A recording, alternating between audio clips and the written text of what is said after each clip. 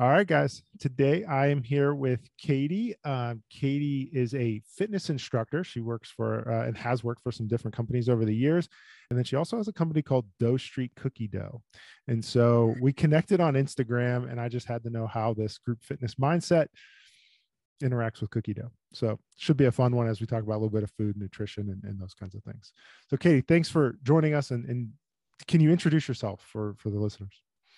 Sure. Thanks. Thank you for having me, Nick. Um, so a little bit about me. Um, I started, and we can talk more about it as we go, but I started in fitness because I rode in a bike race in college. And that's kind of what got me started in fitness and started me like teaching spinning. And then over the years, I got more certifications and have you know, taught more formats and gotten more like certifications as far as even recovery things like myofascial release, which I got a certification in more recently.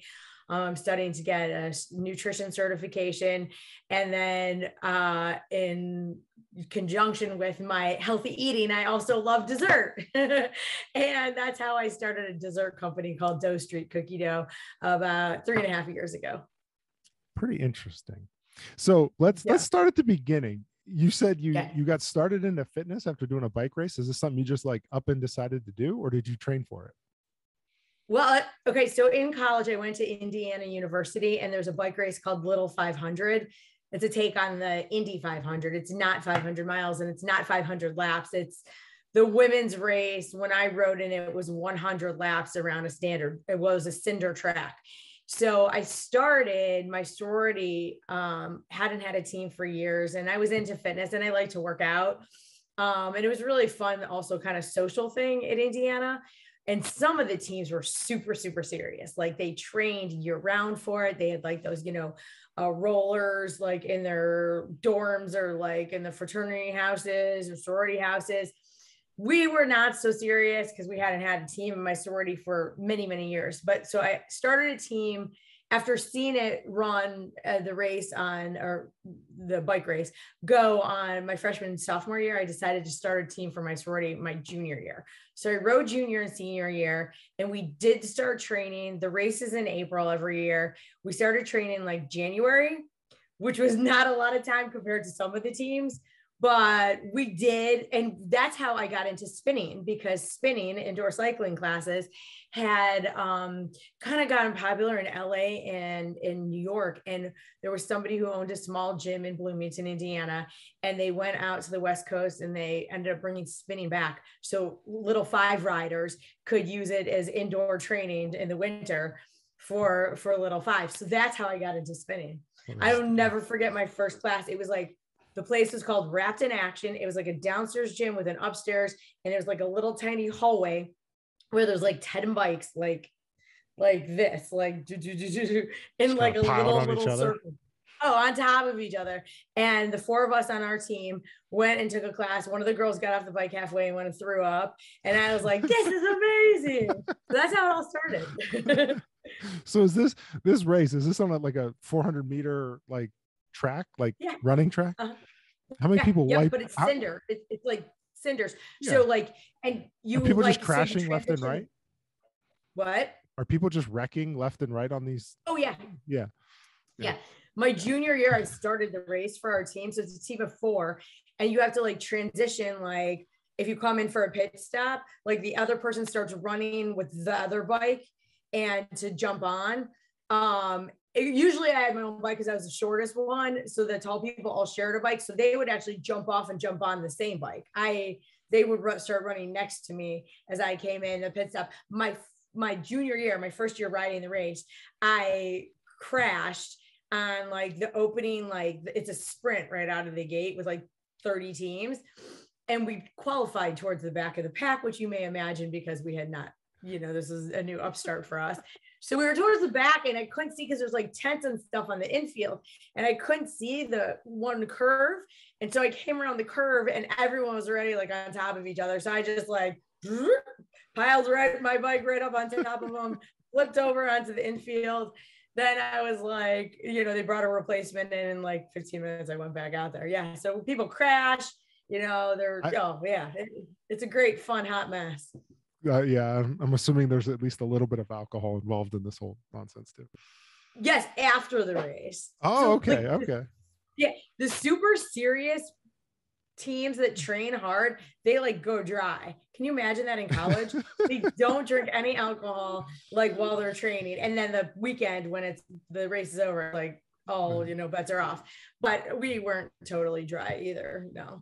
Yeah. But there was a lot, yeah, there was a lot. And um, you do I don't know if you know the movie. It was like a 1970s movie called Breaking Away. Mm-mm. So look it up. Night and it, that movie is based on Little 500. Is this- So so this is like a thing. Like this is a national thing. oh yeah. Oh, Uh-huh, okay. Yeah. Does it still exist? Are people still Uh-huh. doing this? Yeah. Oh yeah. Tra- training every year in spinning studios.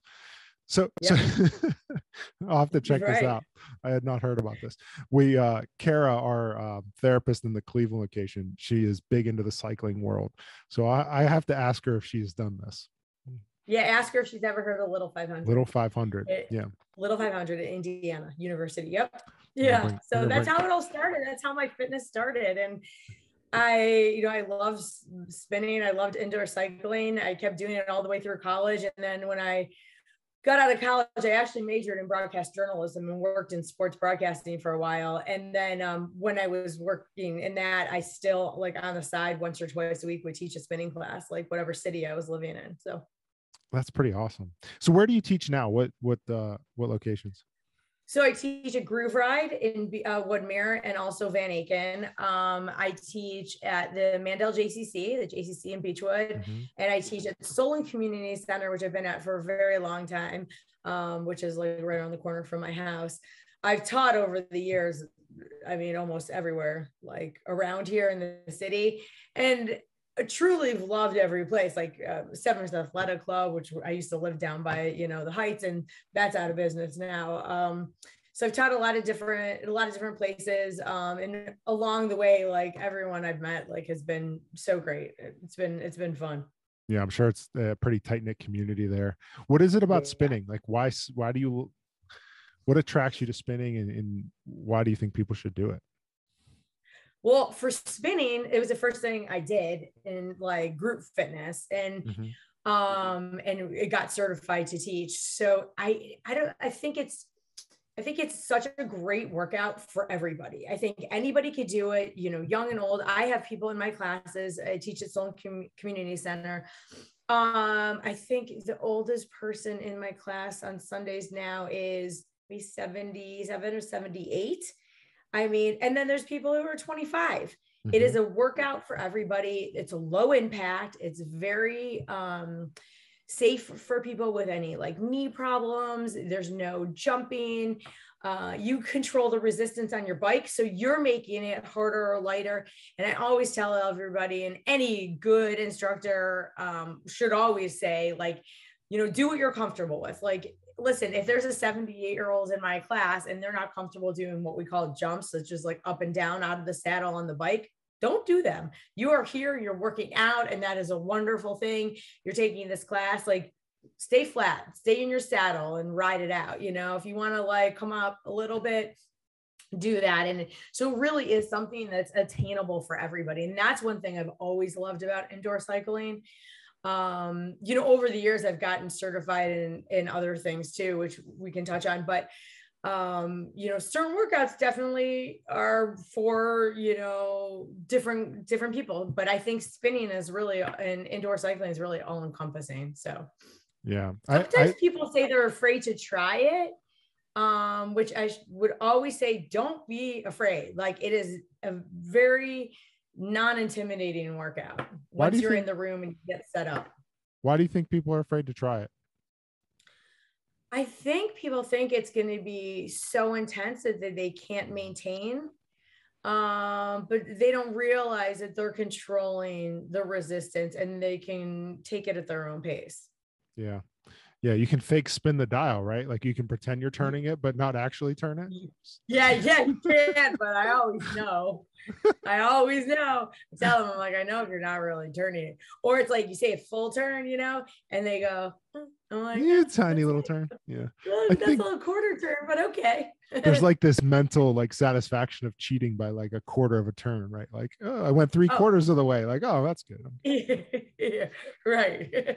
Or- exactly. yeah um i love the people that like the resistance is supposed to be cranking and you look over and they're like the revolutions a minute or they're still flying and you're like there is no way Yeah. And that's not safe. Are you, are you do you like spinning? Or- i've done i've done a fair share of it um yeah Okay. yeah I- um yeah those it, it's so unsafe too when you're like you i always say you should never have the bike pedaling you like if your revolutions Mm. per minute are that fast then you're not doing anything you know Yeah. the bike's in control yeah i went to school at youngstown state university and um oh, yeah. we we used to do it there quite a bit and then my dad actually loved like he just got certified to be a spinning instructor so he is all into it um, that is so- so, cool where's yeah. does he teach around here he's in the youngstown area there's a place out there called Okay. pure pure cycle um okay and i don't know i don't know what they're doing now currently but historically they were more into like it's it uh spin bike style but it was more geared towards like training for an event. So there was like it was less of the like high intensity spinning style class and more like geared towards uh training for a ride. So yeah. longer durations at a certain endurance. cadence and you know different power stuff and, and whatever. So it was a little different style. Um i think they it sounds like they do a mixture of both now. Um and I, it's so interesting to see too like in all these years like how the styles have evolved. And you know there's there are different styles of spinning and indoor cycling now. Like it used to always be called spinning and now it's like indoor cycling because Yes. it's like it depends on what brand bike you know the gym has that you know the manufacturers work with. But uh yeah it's it is it is it's become you know there's the you know groove ride teaches more like the to the beat of the music more like a SoulCycle um beat driven dance kind of style. So really it's broadened a little bit so really there's even something for everything every, everyone with that right and at the end of the day right we're looking to elevate heart rate and get yourself moving and, and i don't think it matters but Yeah. if it adds that like excitement that fun factor to it uh, i Yeah. think that's so important and then the other thing we're seeing eh, you know the more more of these podcasts that i do with the community pick your fitness it's about the culture and the community that you get brought into right that's what's most important and i think you just got to find your your clique your people Absolutely. It's so true. Like, what are you looking for, like in a class? What are you looking for in an instructor? What are you looking for in a gym or a fitness studio? Like, you know, find a place. I would always tell people, like, first of all, find something that's convenient. Because if it's not convenient, you're mm-hmm. probably not going to go. Right. So make sure it's convenient and then find some place that you feel comfortable. Like, where you want to go that you get excited about that like you feel like it's a second home that's so important Yeah. And I think, you know, COVID obviously brought about this whole online online version of these classes.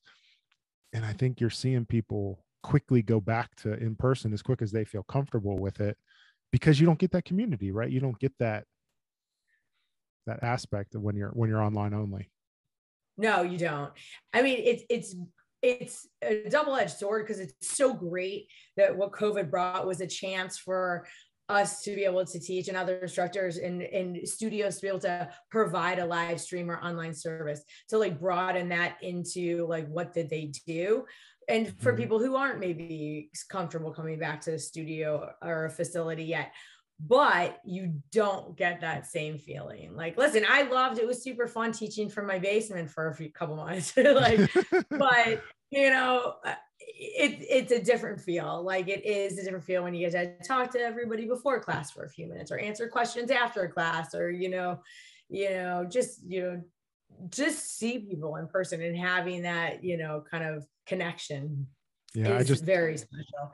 And i would tell people like when you're ready if they're not ready yet and people are listening to this or watching this and they're haven't come back to the studio when you're ready come back because you may get comfortable doing it at home. Listen, I work out at home. Like I have everything I need here and I work out at home sometimes. And, you know, it's, and some days it's great. It's convenient. You have a lot to do. You're on a podcast. So I don't go to the gym. I worked out in my basement, you know, but, mm-hmm. um, some days it's just nice to know that you have somewhere to go and people you're going to see and somebody to push you and tell you what to do and you don't have to you know make any decisions about what you're doing for your workout today. You're just get to go in and have that time to like clear your head and have a hundred percent you time. Yeah i just finished a podcast with a friend of mine emily clausen she's building like an online yoga uh, practice. And she's emphasizing that she wants it to be hybrid right? Like do both. Yeah. And i think yes.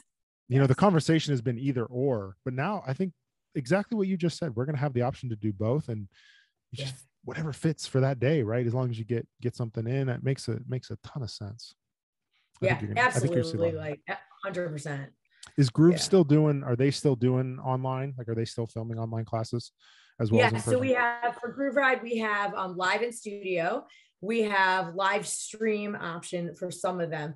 So most those are all at uh, the Van Aken location, mostly Rock the Bells um, and the um, band, the band camp class. Um, so those, excuse me, those um, classes from Van Aken are live stream live, like at the same time. And then there's also on demand library. So you could do a digital subscription and and just book like an online class. Like I think their link goes out every day around like 11 or 11 a.m. or 12.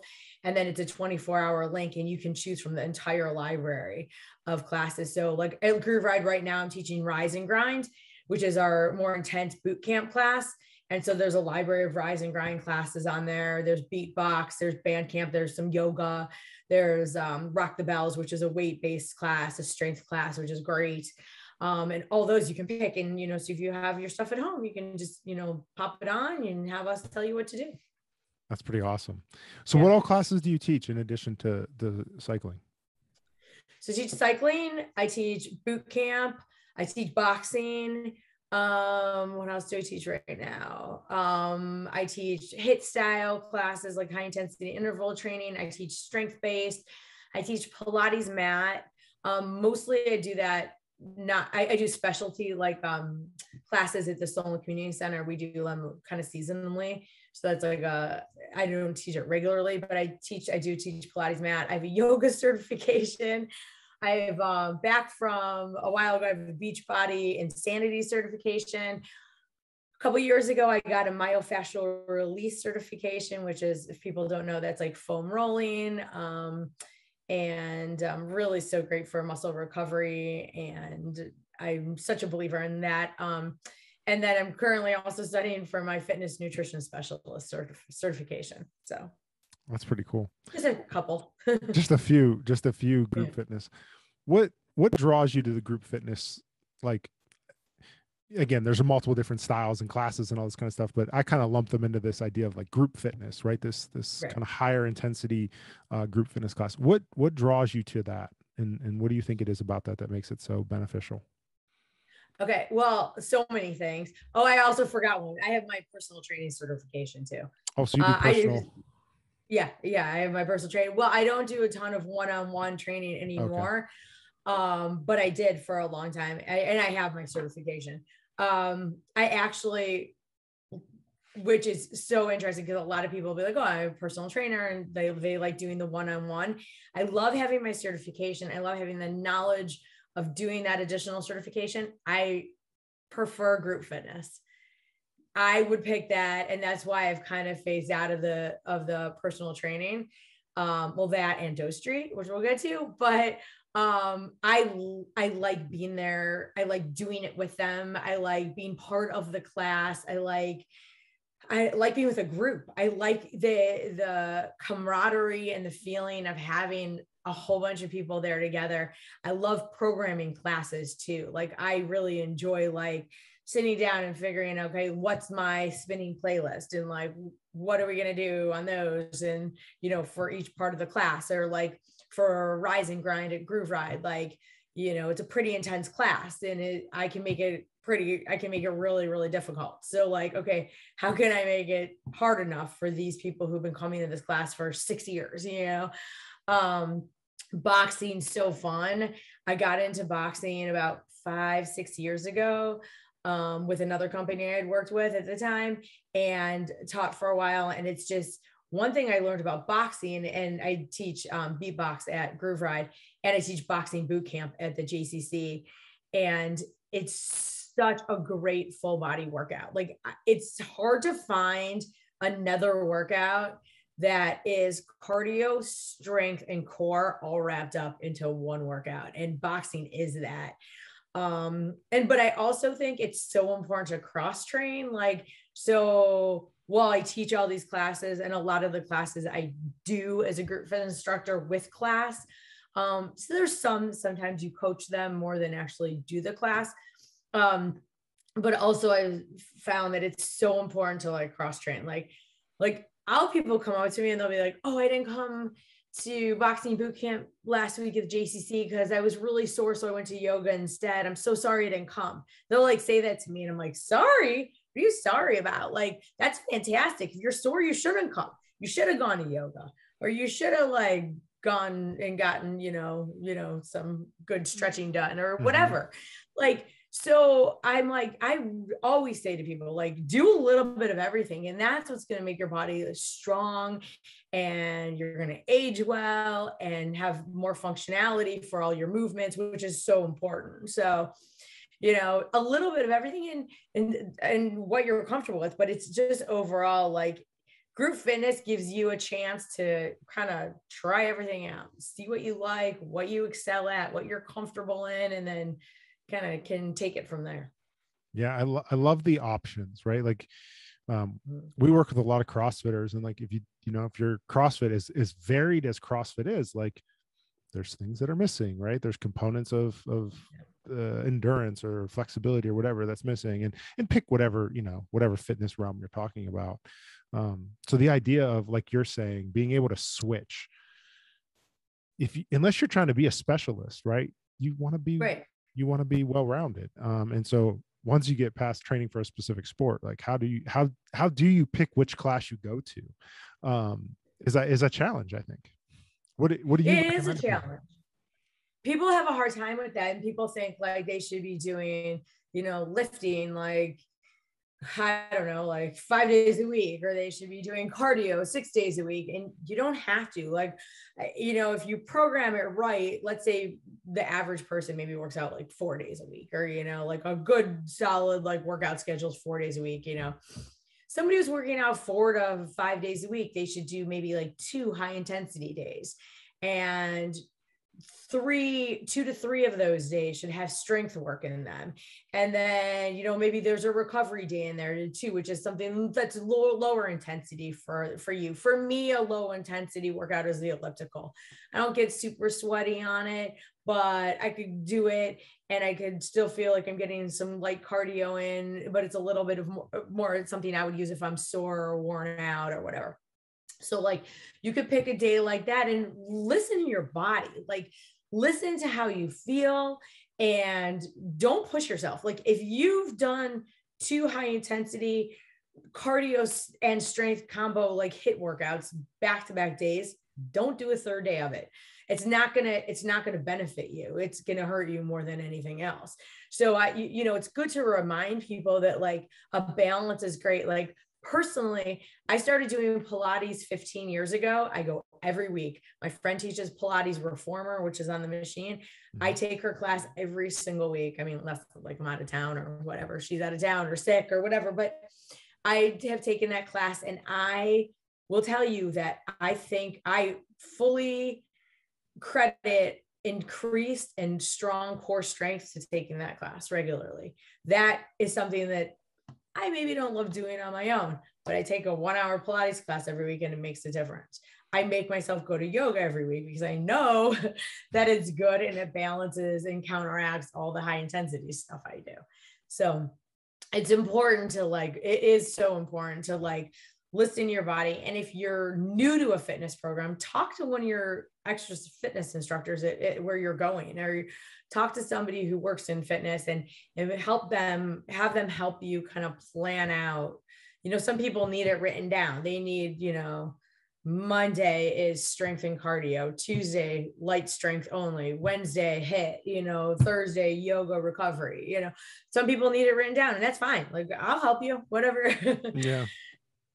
I think, yeah, I mean, what you said of listen to your body is is so important. And I think there's especially for the new person, um when are you being a baby versus when are you listening to your body right? Like when are you skipping that class because you just don't want to go versus right. like you don't need it? Uh and i and i think that's that's a challenge especially if it's a you know if you've been doing it for 15 years you kind of know right? And it's not about getting up and going to the class. But right. if if you're new i think it's harder and, and maybe that's where the the person that needs a program comes in um, yeah. or or some of these other things. One if it's new it's also harder and there's always the the fear like if somebody's new and they're really committed to a fitness program and they feel worn out and maybe they skip a day they also sometimes have that fear I don't want to stop. I don't want to like lose um, you know, kind of traction on what I'm doing. I don't want to lose traction. So they're worried they're going to maybe fall back and in their old ways maybe they weren't going to classes but it's important to remember once you know it's a lifestyle change it's a choice you make like just because you miss a day or your body doesn't feel like going as hard one day doesn't mean that you're not making progress and that you shouldn't stick to it you know yeah. so you see people in the gym and they're like oh you know uh, you know i'm overweight or i'm not eating right. And i say to them you're here. You're doing it. You're making a change. So don't talk about those things. Let's talk about what you need to do to keep going in the direction that you want to go yeah. it's so much about positivity too. I think it would be interesting like to separate the discipline mental side of that feeling of not going versus like the actual physical physiology of of exercise right, right? like the understanding that exercise is a stress right? You're adding stress to your body. And if you don't have the recovery piece if you don't get the sleep and the nutrition and all that kind of stuff it, it's not going to work right? It's just going to break your services yeah uh, as much as right we do physical therapy right? But yeah. I still feel like we're the you know we're the tip of the pyramid right? I, I, you can come see me all you want but if your sleep's not dialed in it's right. not going to work either because we're going to whether it's manual therapy or it's exercise or it's whatever it's still we're applying a stress that I want your body to respond to, right? I'm going to stimulate a certain area to get blood flow and get an inflammatory response and promote healing in that area. But if your immune system is wrecked because you're not getting enough sleep and there's no time right. for that to happen, it's not going to work either. So I think there's conversation has to start with sleep, then probably, I think honestly, probably nutrition, then dial in the, I don't know, the nutrition exercise thing kind of they to me they're so tangled but um probably nutrition then exercise and then at the very tip of the iceberg is is us doing our rehab physical therapy kind of stuff unless you're broken broken and you can't go to right. your class. You know if you're so broke you can't do anything then yeah where where you're then they yeah but from a maintenance standpoint i think we're the tip we're the tip of the the top 10% of of importance um until you yeah you jack your back up so bad that you can't get on the bike different conversation. Right or get out of bed then you're like you are like number yeah. one important yeah. Right. i gotta i gotta be here yeah we'll see you tomorrow morning. Um yeah. so with, with that all in mind how do you go from you know fitness group instructor superstar to to cookie dough? Like how does that happen and how are they how how's that connect so when I started the company, like my parents were like, "What? Like what? Like this doesn't even make any sense." And I was like, well, but okay, so I love to bake. I love dessert, but mm-hmm. not all desserts. Like I'm very specific in my dessert. I love chocolate. I love cookies. I love chocolate chip cookies, which is kind of how the business started. So, um, I also love to travel. So my husband and I have been traveling and you know, a few years ago when that edible cookie dough kind of dessert trend was starting. And everywhere going we were seeing it and i was like oh and i was making it at home and i'd make it for family functions or friends or whatever and i was like because i lo- i enjoy baking not cooking as much but i do love baking um and i was like we were we were we were in san francisco and there was a edible cookie dough shop and i was like oh my god like the line was down fisherman's wharf like on the pier and i was like this is crazy i'm like how can we do something like this in Cleveland? I'm like, yeah, honestly, like people ask how I started the company. I made a decision and like a month later I was up and running. I don't even know what I did. like I was like, I don't know. I was in California for a weekend vacation, got going, got in court. My husband works in uh, as another business, so he had some contacts that was help us get incorporated and um and get going. And I was like, okay, how can we do this in Cleveland? Because there's not like a location that's like a ton of foot traffic and like super touristy, like that's gonna have enough for a shop. So I was like, oh, we could do like event based. So I got home, we ordered like a cookie dough, like a refrigerated cart for events. And I legitimately got off the plane and I wasn't, didn't have like my baking stuff. So I got off the plane and went right to Giant Eagle and got all the ingredients I needed. Cause I was like, my recipes are okay, but like if we're like gonna sell this, like they've got to be better. So I spent like I don't know, three days straight trying recipes, throwing things in the garbage, tinkering around. I refused to start the business without having a gluten free option um, because my friend has celiacs and also I work in fitness. So I wanted gluten free for people if they're going to eat dessert. um, the vegan took a little longer. It took me another about, a, I launched without a vegan flavor, but about a month or two in, I was able to come up with a good functional vegan chocolate chunk flavor. So basically, it all came from my love of dessert, chocolate chip cookies, and having balance in your life. I eat oatmeal and egg whites for breakfast every day. I eat a turkey wrap and fruit for lunch every day. Uh, almost every day. Maybe it's a tuna wrap some days. I eat a protein, a vegetable, and brown rice or a potato for dinner. I have a protein shake. I have turkey jerky. I have those are my snacks, you know, some vegetables or some fruit, things like that what was the one thing? I mean, you can't, you can eat like that and it's going to make you are going to get, you know, super ripped, but it's not life. Like, I want a cookie sometimes. I want to be able to like make a cookie cake and sing happy birthday to my kids and eat part of it and not be like, I'm not eating that. It's sugar. So it's all about balance. Like people ask me all the time, like, do you even eat the stuff you make and sell? The answer is yes.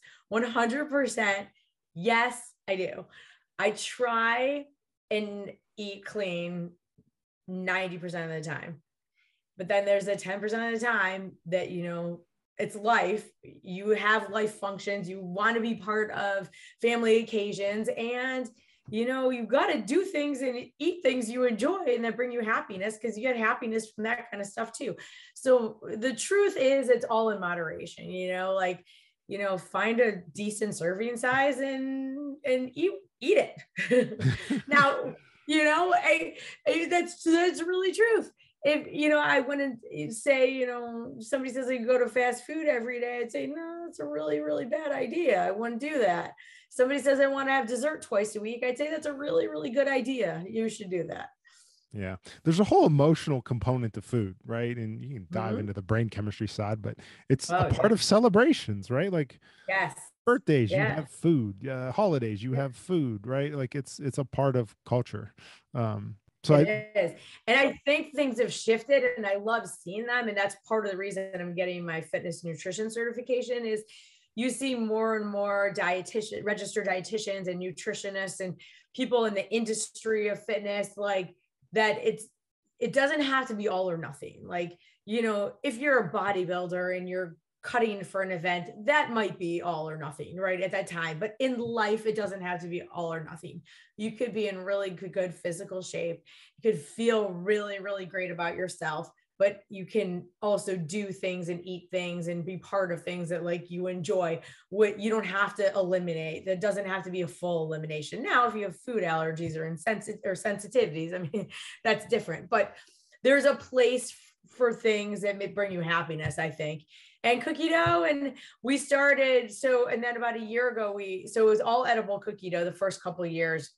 And then with covid we lost a lot of our events and our event based stuff because nobody was having parties and you know weddings and um, so we started brookies which are so the cookie dough is like unbaked and edible.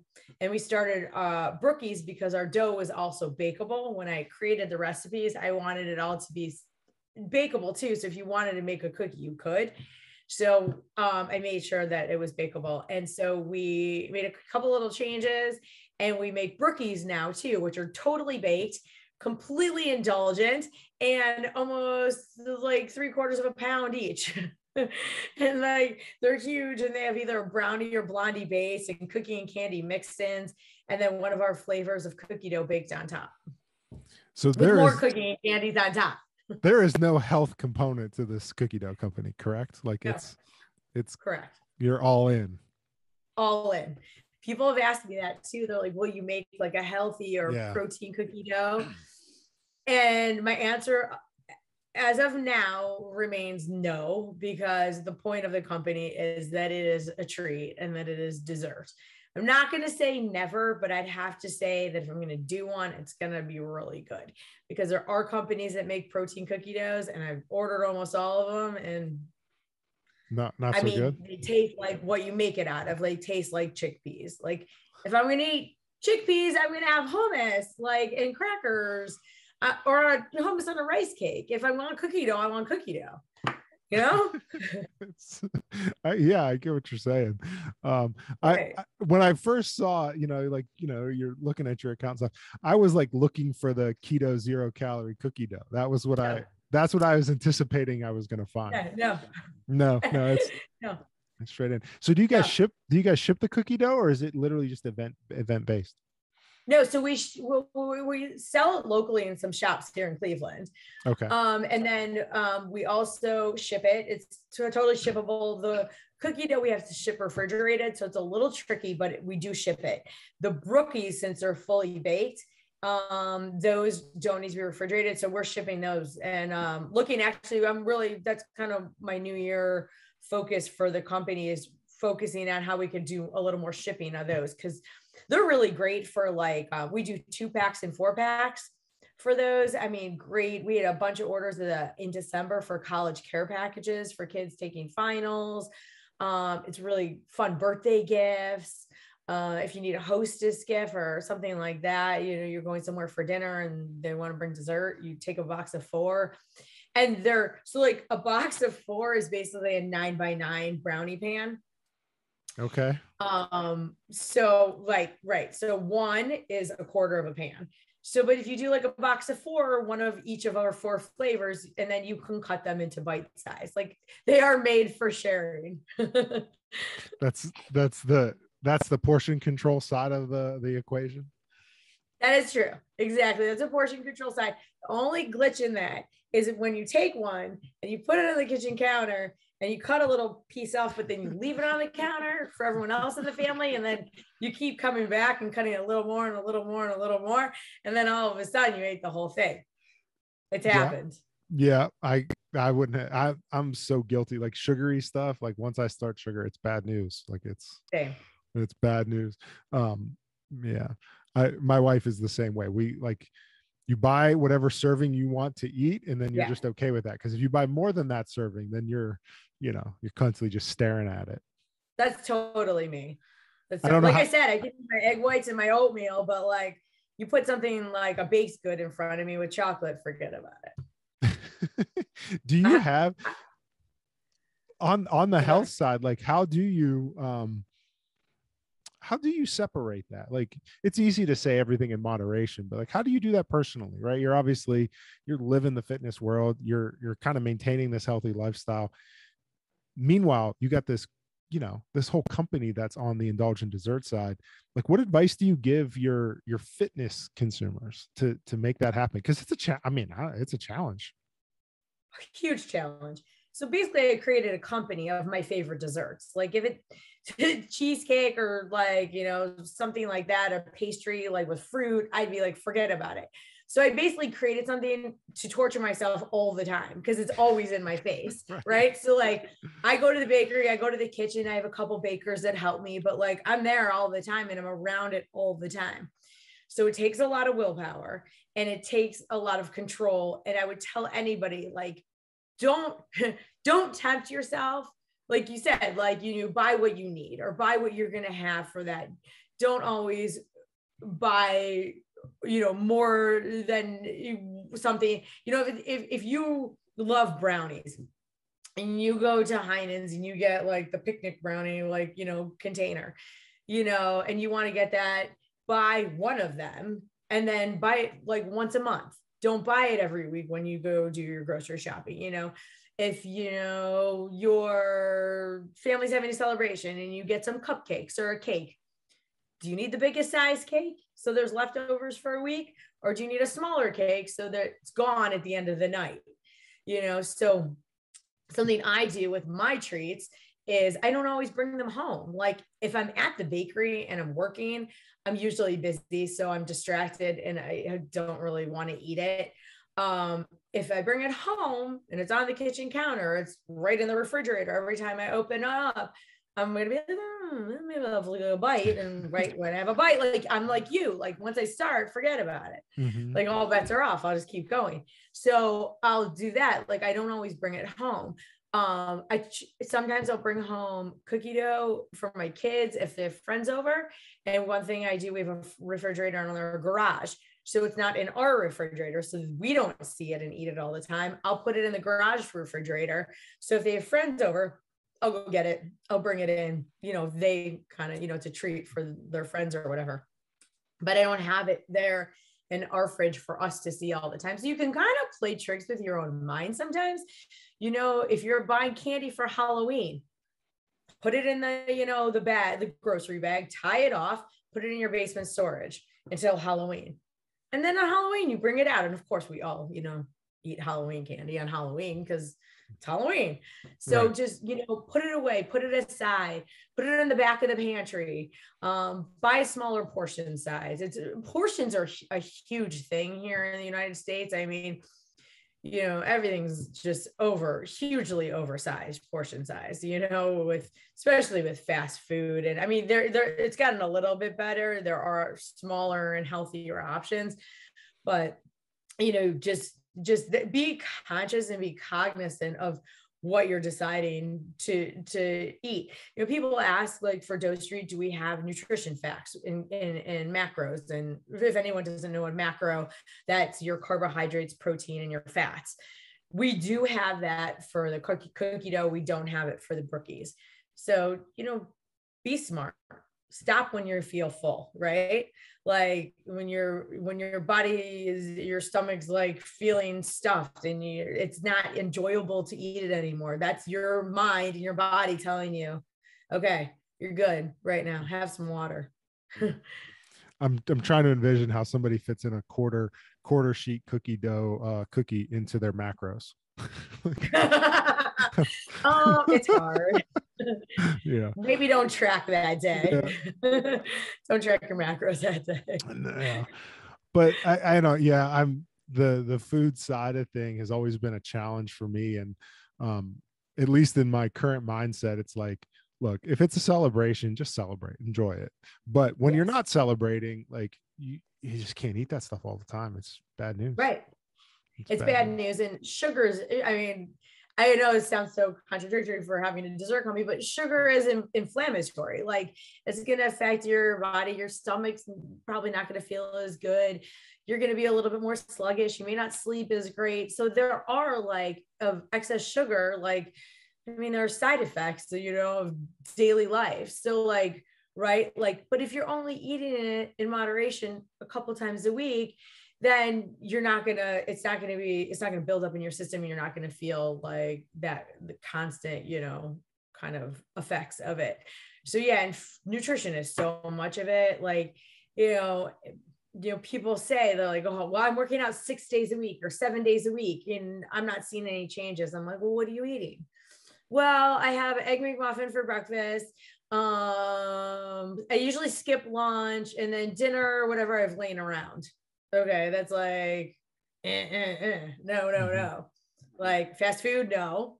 Um, skipping meals, no. And a non planned meal, no. Like, so it takes a lot of work. Like, that's the other thing I tell people too. Like, it's a lot of work. Like, you're constantly, if you are planning and you're eating healthy, once if, it, if it's a transition and something new for you it's going to be a lot of work because you have to change your mindset and you have to shift your mindset and you have to think about how is this going to fit into my fitness? Like uh, you know because it's all it's all timing too. So you know you want to eat breakfast always eat breakfast like eat a healthy breakfast right? And then okay well if i'm going to go work out I can't eat that breakfast right before because then I'm going to be too full and I might not have the most like effective workout because I'm so full. So eat your breakfast an hour before, right? So then you're eating your breakfast an hour before you go to your group fitness class. And then you digest, you work out, I mean, you work out, and then you're hungry, right? So, okay, what should you eat after your fitness class? How soon after the class? And then how soon again after that? So it's it's so much science to it also. But the most important thing is eating balanced meals that have all those macros, that have your fat, your carb, your protein. Oh, the other one that drives me crazy is the no carb diets They drive me nuts, especially for fitness people. If you're working out, you need carbohydrates. I've so I played with keto, I don't know, a few months ago. Um, high intensity workouts suck. Like you just can't. But you could do like slow weightlifting, running. It's not too bad. Yeah. Um, my current my current like fascination is all this stuff on insulin. Um, yeah in, in like how blood sugar and insulin and that, that interaction.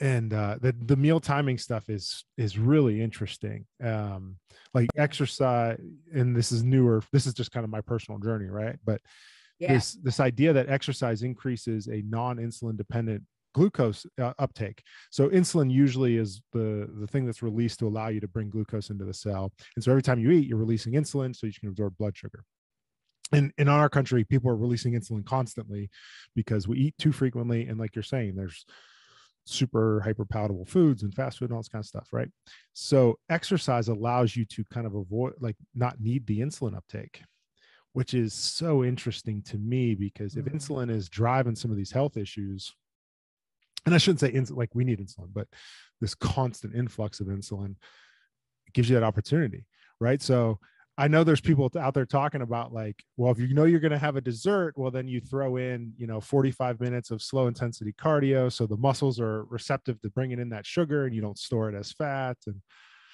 I don't know if that's too far. Like, like, look, if you want to have a dessert, like, is it okay to just have the dessert or do you need to plan it to the point where you're like, well, look, I got this event later. I know I'm going to eat like crap. So I'm going to do an hour and a half of cardio before I show up.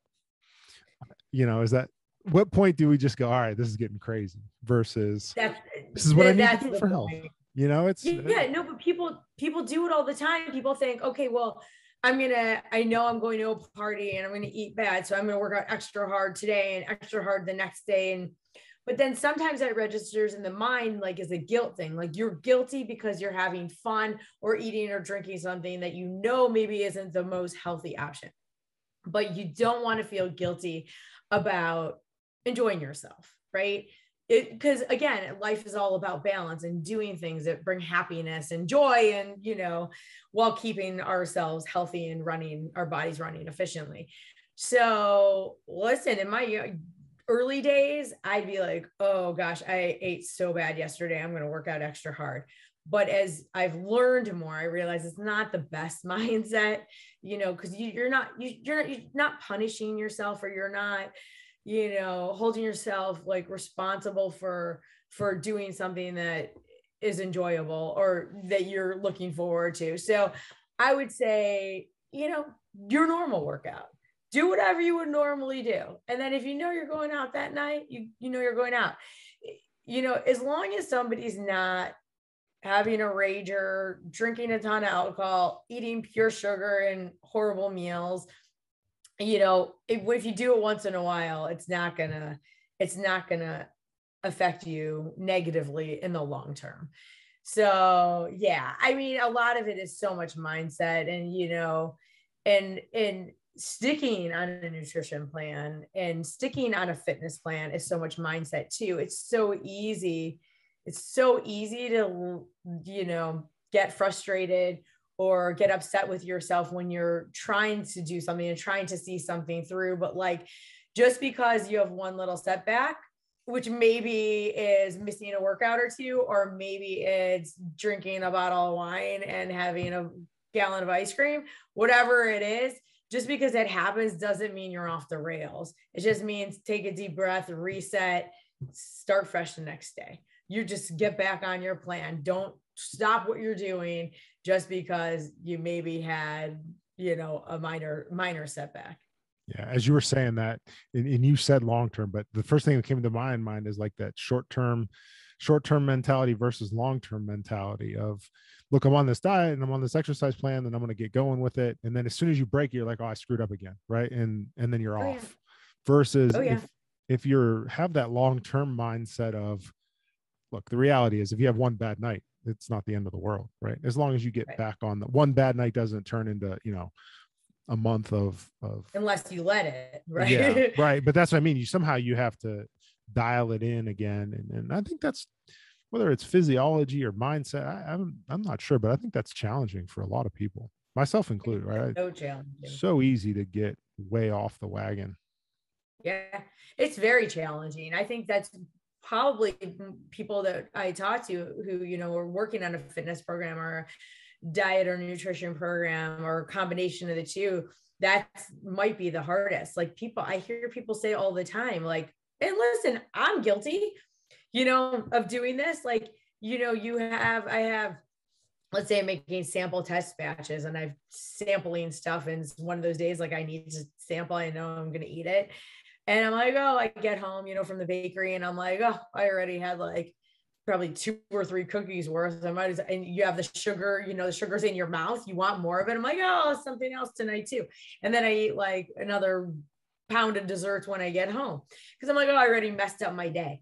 I don't think that way anymore, but I used to. You say, oh, you already messed up my day. I might as well eat whatever, but or do whatever, or just like if I'm not going to work out, I didn't make it to work out today, so I'm just gonna eat a pint of ice cream and watch a movie. Like, no, like it's so easy and that's one of the most common things that people say like once you kind of feel like you lost it a day or whatever it is you know like oh forget it it's all screwed up anyway. But it's not and that is such a shift in people's brain and it's so hard for people to make that shift and it takes time because you have to shift and be like it's it, it was it's just a blip. It's fine. Keep moving you know? How did you get there? Like how did you switch that mindset? Oh gosh. I mean it was a process. It's such a process. It's it, it's not something that happened overnight. It was a process of probably over i would say at least a solid year. Like talking to yourself you, you it's okay. Like in my head i'd be like uh, well i'm like I, f- like I'd be like, oh, for me, it wasn't really not the workout. I'm pretty regimented in my workout. So mm. for me, it was more like the nutrition and like the desserts. Right. So I'd be like, oh, I already messed up my day. I'll eat whatever, you know? Mm-hmm. And then, but then I would be like, as it like like later that day, I'd be like, I don't feel good. Like I don't feel good. And I'd be like, okay, I have to remember how I feel. I feel over full. I have a little bit of some food sensitivities. No, nothing major, but like I have a little insensitivities. I'm like, I'm like, I feel like my head hurts, my face feels puffy, like my stomach's gurgling. I have like no energy.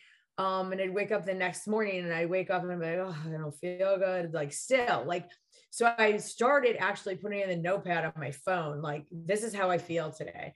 I let myself figure I ruined the day. I ate whatever I wanted. I didn't list what I ate. I just said like whatever dessert I wanted. And I feel like garbage. I feel miserable. I feel like I have no energy to work out. My face is puffy and my head hurts. And then I just kept doing that. And I would go back. Like if I had another day like that, I'd go back and I'd look at what I wrote. I'm like, I don't feel good. Like, stop doing this to yourself. Don't feel good, you know? So it was a process of reminding myself and like checking in with myself and saying, okay, I'm doing this like to myself because I feel like I love dessert so much. I'm going to get them all packed into one day, you know, mm-hmm. like I'm just going to eat everything now. But it wasn't, it was physio- physiologically, it wasn't making me feel good. So, but it took time of reminding myself and like thinking about it. And it happened. Like, I, it, it wasn't overnight. Like I would do it again a month later and I'd be like, oh crap, I did it again, you know? Mm-hmm. So, and then another thing is a lot of times people say, like, I'm going to have a cheat meal or I'm going to have a full cheat day and eat whatever I want. but those mess up your body and your metabolism because like it throws everything off, right? So then it takes a couple days for your body to kind of get back in check. So those aren't really like if you talk to a registered dietitian, eh, all of them that I'm friends with would say they can't stand cheat meals or cheat days. You know, if it's a Saturday night and you and your wife are going out to dinner and you know you want to order like a fun appetizer you want normally eat or something you want to make at home order the appetizer. It doesn't have to be a cheat meal or you know and then you still want to maybe get your like salmon or whatever for dinner with a grilled vegetable. You know it's you balance it out. It doesn't have to it doesn't have to be the biggest thing. It doesn't have to be all or nothing. It does not have to be all or nothing. And the other thing is a lot of times i hear people say like well, I'm gonna just eat bad on the weekends, but healthy Monday through Friday. It doesn't really have to be that way. Like yesterday was MLK Day. My kids were home. We were off school. We were baking. It was a Monday. Guess what? I had dessert. like, okay. Like it wasn't Friday or Saturday or Sunday. Like it wasn't a weekend, but I had a dessert on a Monday. So like I probably won't eat a lot of real desserts, you know, until for a few more days. But like it was fun. I enjoyed it. And like, like it didn't, you know, it doesn't mess up your day or your week just because you had something or like, you know, you have an occasion on a Monday and you go out to dinner. So it's it's so much, so much um, you know, kind of like coaching yourself in your in your own mind is I was it was really the key. And it's very difficult. It's not easy. Yeah. I like that strategy idea of kind of writing that down for kind of reinforcement of um how you feel. I um i've been wearing a whoop band like it tracks your oh yeah. sleep and your i haven't you know, tried whatever. those yet. Do you like it? Uh so some coaching friends talked me into it and the okay. old version of it i didn't love only because like me and the battery never got along. It felt like it was like oh you have 20% left and it was dead the next day and i just got frustrated. I was like this is like whatever. But this new one the battery is actually like decent and whatever and uh what i liked about it is it kind of gives you that realistic check-in because it tracks your heart rate and your sleep. So you'd be like, oh, I've been working out like crazy. And then you can literally go back and look at your 30 day thing and be like, yeah, really, I didn't work out that much. Right. You can kind of see how many days a week you cool. got you got your heart rate elevated. Um, but I've been toying with um, some intermittent fasting stuff, right? I'm just kind of self-experimenting. I'm into this whole insulin thing right now. But um, you know, that idea of a cheat meal or whatever. And so like, yeah. you know, been pretty pretty careful for a while and I forget what we were doing, but literally had my um I love dates, Medjool dates. Yeah. Best thing ever. So my mom had got us some for Christmas, literally as a bag of dates was in a stocking. Oh, so fun. All right, simple. So I'm like, you know what? Screw it. I've been pretty focused for a while. I'm gonna eat these. We were watching a movie. Um, but it was late. It was like nine o'clock at night or something like that. So I had those. And then my daughter has these chicken nuggets. So I had a few chicken nuggets, right? Because screw it, I'm already cheating. So I had some yeah. chicken nuggets. And um, that night, I didn't sleep great. And the Whoop band literally, my it gives you like a recovery score. It was in the red, yeah. like it was as low as if it was a night of drinking. It was insane. Wow. I, could, I couldn't believe it. it. And my respiratory rate had increased and so it actually told me that I was sick. It was like I got this alert, wow. like you may be getting sick. Be careful. And maybe I was getting sick. I don't know, but uh it was I was crazy. I was like, oh, that's wow. Wait, how many dates did you eat? I don't know. It was like a bag. So like 30? Like no, those could be no, hard no. on your it was probably. I don't know. It was the, the bigger, the Medjool ones. I don't know, probably okay. 12, 15. I don't know. Oh, that's not it. I was like thinking a huge bag of dates. I'm like, his stomach was probably a wreck. mm. But you know, you can use dates in a lot of like healthy options too. You can oh, grind so them up and put them in like energy ball and make energy bites with them and stuff like that. Yeah. yeah. yeah. they're so good. But I, I guess what I couldn't believe is like how crazy it was. I was wearing a glucometer for a while where like actually you could measure your blood glucose. And so I knew it was going to spike it. Uh, obviously it's just pure sugar, but I I did not expect the physiologic like my my yeah. resting heart rate to be different, my respiration rate to be different. Um, and it took the next day, you know, Whoop gives you these recovery numbers or whatever. So the next day was probably like, I don't know, 50% better. And then um, by the third day, I was kind of back on on track, um, which was interesting to me. It's so interesting. And right, it shows it takes time for your body to recover from something like that. Right, right. That's that's what made when you said that, that's what made me think of it. Like, yeah, it did take two days before my kind of heart rate variability was was back on the on the whoop band. And and again, I don't know, it was a one time occurrence, but it was wild that it was literally the yeah. night that I had those dates. It was like so cool. And then my wife was like, You're kind of crummy. Like she's like, You're in a mood today or something. And and I like looked at, and that's what made me look at the band, like to look at the app. Yeah. And I was like, oh, Whoop is telling me that I feel like crap too. So there you go. Yeah. That's so interesting. I love the science and like the technology that we have now, like that, you know, is accessible to like analyze those kind of things, which is just so cool. I still have my trusty Fitbit. Um, yeah. but it's, it's, I could tell it's, it's getting on, I mean, this is like my third or fourth one. So it's going to be a question for myself what I get next for my uh, tracking device. I just didn't want a phone. I didn't want the phone attached to my wrist. Um, yeah. I'm already attached to that stupid thing, and I just didn't want it.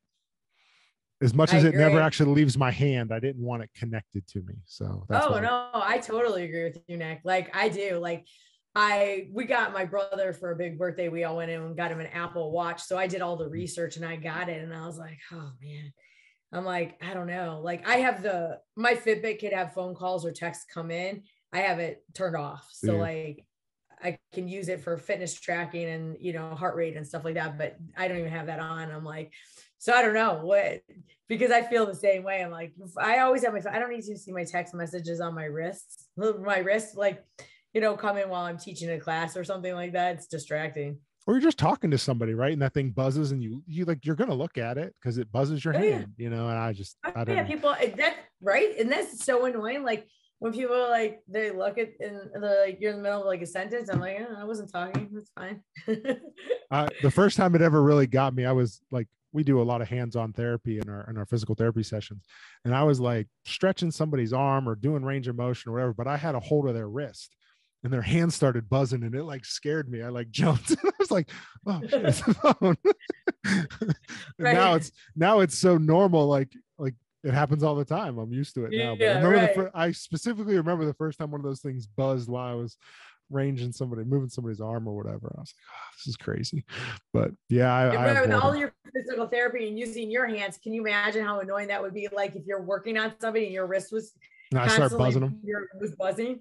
It'd be like yeah. having one of those hypervolts on them the whole time, right? Just buzz, buzz, yeah, buzz. yeah. love, love those. Yeah, love those. Yeah, yeah. We're actually like between cupping and the hypervolt, right? You can talk about like quick recovery for just like not trying to fix an injury, but just recovery. Ah, it's so awesome. Um, the, the yeah. physiology of that's pretty cool, but different topic. Um, anyway, I want to be respectful of your time. This was a lot of fun. Um, I always try to wrap up with what do you think you're going to be doing next year? What do you think you're going to be interested in the like where do you think you're going whether it's with the company or your fitness or what's your what's your new interest? What are you what are you into next? That's a great question. Um I don't know. Um you, you know, one thing I've learned is that like you just never know what's ahead. I've kind of taken different paths along the way. But I would say one thing on my bucket list, I don't know if I'll, I probably won't be in the next year, but um, I would like to eventually get a full 200 hour yoga certification. Um, but what in the next, in the more immediate next year, I would love to build the online sales of the brookies to build that division. And I would also love in the fitness realm to finish my fitness nutrition certification and also do some like coaching and working with people on how to kind of put it all together and how to get that mindset and um and kind of kind of help people find a plan and find a way. And i really even things like i have an interest in working with people and like you you realize is the more you talk to people like they don't know how to pick things out at the grocery store like simple things like that. Like i'd love to I'd love to build. I guess. I guess. So. I guess I do have a plan for the next year. Those are my two things: build the online sales of the brookie, and then build a little clientele base with uh, the nutrition, helping people and a day to day, not a dietary plan, nothing like that, but a day to day how to make decisions in their daily life to you know have a healthy kitchen there That's you go awesome yeah i'm going to reference people back to your i love your mindset on um kind of that mindset shift of not the all in or all out kind of mo- like method of eat like uh, mentality of eating and, and kind of how you got through that process for yourself that that was i, I appreciate you sharing that i'm definitely going to reference i'm going to make a clip of that in this podcast and i'm going to reference to it. Oh for sure and honestly like hopefully to tell people that like it happened like i work in fitness i have a knowledge of this stuff but it still was a process for me. Like it's not easy for anybody even if you know what you should be doing. So hopefully that'll help people understand like it's okay like for it to be hard like you know and you know i'm on your side like people are people are on your team they want to help you get there like and you know and the fitness component too like i mean i'll always love teaching group fitness i can't imagine ever not um doing that and having that as part of my like my life so you know just for people to I just want people to feel like, you know, the positivity and that they can do it. And if they want to make a change and they really have like the heart to do it, and you can do, you can do it. That's awesome. I appreciate it. Um, I think it's a great way to wrap up. Where, uh, where can people find out more about you? Uh, well, all my social media, my um, Instagram is at Katie Pollock 22. So it's K A T I E P O L L O C K 22. That's my Instagram. Um, Facebook, I'm Katie Pollock Simms. That's S I M M S. Um, cookie dough, if you want some cookie dough or brookies, that's Dough Street on Instagram and Facebook. Um, Facebook's Dough Street Cookie Dough. Um, I wasn't really on Twitter until actually yesterday, but I'm there now. And I'm Katie Pollock DS. That's for the DS is for Dough, Street. Street on Twitter. Yeah. And uh Dough Street on Twitter at Dough Street on Twitter too. That's awesome. I'm gonna be ordering some gluten-free cookie dough. All right. That's peanut butter cup. No peanut allergies, right? No peanut allergies, but gluten. All right, perfect. Gluten, not so great, but okay. I, am excited to try it out. I'm gonna I'm gonna order some uh, here shortly. That's awesome. Thank can you, we Nick. can you find uh, with that in mind, can you find it anywhere locally? Like you mentioned you're in some boutiques. Where's it at? Oh, yeah, yeah, yeah. So um, locally, Goldie's Donuts in Lyndhurst. We sell it there, the brookies and the cookie dough. Um, and we actually that's our home bakery. We share a kitchen with them. So we work okay. out of Goldie's Donuts. Um, Heritage Coffee in Solon. We sell the cookie dough and brookies. Um, Goldie's always has all the flavors. Heritage usually has everything, but can sometimes be more sorted um, Notre Dame College Falcon Cafe in South Euclid. Um, anybody could walk in there, but they sell it there too. Adrenaline Monkey, if you take your daughter, um, we have two flavors of cookie dough there in the concession stand. Um, and is that everywhere? Oh, Milk and Honey Cafe in downtown. And that is, um, they sell the brookies there. And we have a new location in February, but I can't tell you yet, but it's coming soon. A very exciting uh, partnership that we're going to be trying out in February.